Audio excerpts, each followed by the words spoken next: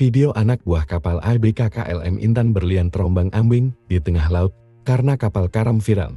Para ABK ini pun berusaha menghubungi komandan untuk minta dievakuasi, namun jawaban komandan malah membuat emosi karena tak memungkinkan menolong. Dalam video yang beredar luas di media sosial, tampak KLM sudah karam. Beberapa ABK mengapung di atas rakit dan menjauh dari kapal. Salah satu ABK terus menghubungi komandan mereka untuk meminta bantuan melalui HT.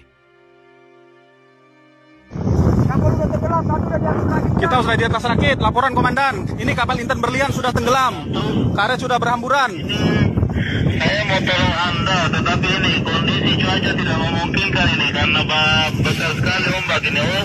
Kami di kami kami di rakit. Kami udah tolong ketemu di rakit ini dan apung-apung di rakit. Kita apung-apung derakin dan tolong dan. Tolong aduh. Ini ada tekun kita bertolongan nih. Tolonglah komandan kami apung-apung di rakit ini Awas, dan.